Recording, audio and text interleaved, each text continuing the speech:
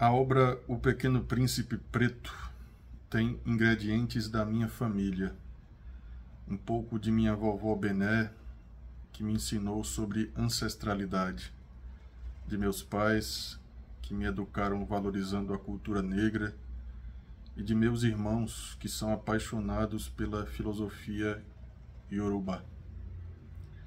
Este livro surgiu a partir do espetáculo de mesmo nome escrito e dirigido por mim no ano de 2018. A peça teve a intenção de mostrar às crianças, jovens e adultos o quanto somos potentes na diversidade cultural do Brasil.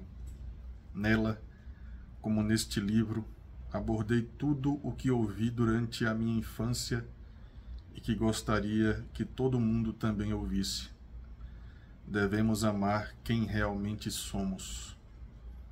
Só no primeiro ano da peça foram mais de 40 mil espectadores levando para o mundo uma semente de esperança. Crianças pequenas e grandes se amem, vivam o Ubuntu. A vida é mais linda quando estamos juntos, respeitando o outro e semeando amor. Esta é a mensagem do articulador cultural, ator, diretor, dramaturgo e artista plástico Rodrigo França, autor desta historieta que apresento aqui no canal O Equador das Coisas neste momento. Vocês já ouviram falar neste livro aqui? O Pequeno Príncipe Preto, Rodrigo França. Meus caros, a edição é da Nova Fronteira. O Pequeno Príncipe Preto, olha que legal. Fazendo aí uma referência direta ao clássico O Pequeno Príncipe nesta, nesta história, o menino é naturalmente negro e começa a traçar algumas questões e apresentá-las aos leitores acerca de ancestralidades diversas, acerca de sentimentos, afetos, eu destaco aqui uma questão importantíssima que é trabalhada pelo Rodrigo França no livro, a questão da alteridade, o Ubuntu, o ser com os outros, ser para os outros também, não só ser para si mesmo. Muito bonito o livro, a mensagem que o livro trabalha. É, há um paralelo direto com a obra do francês Exupéry. E isso é mais um motivo né, que, que faz com que a gente fique curioso e que queira adentrar a leitura. Né? O livro começa dessa maneira.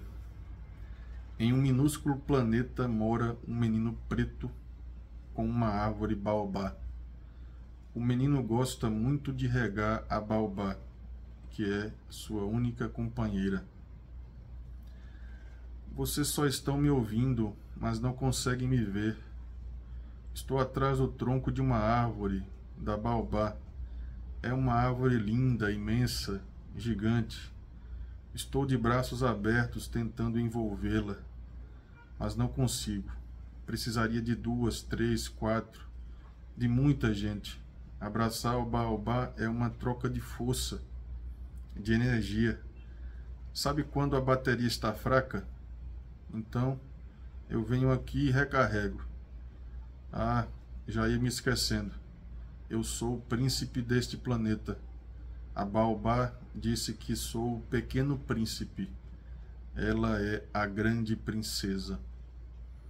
Este planeta é tão pequeno que só cabemos nós dois aqui. Em breve seremos três. Comparado a um planeta chamado Terra, aqui é tão pequeno que parece um grão de areia. Existem outros planetas espalhados por esse infinito universo. Conheço alguns, mas o meu sonho é conhecer todos, um a um. Saber quem mora nesses lugares e o que fazem. Enquanto faço isso, deixo a semente da baobá, porque quero espalhar por aí o que tenho de mais precioso, ela e o Ubuntu.